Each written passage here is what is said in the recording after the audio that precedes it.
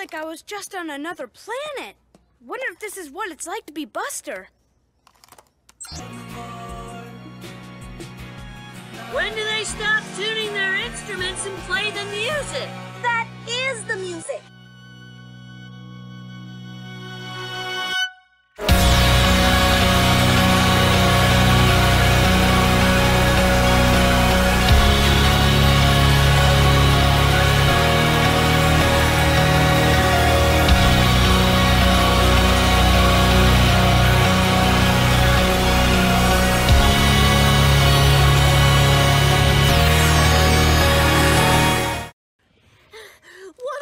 was that?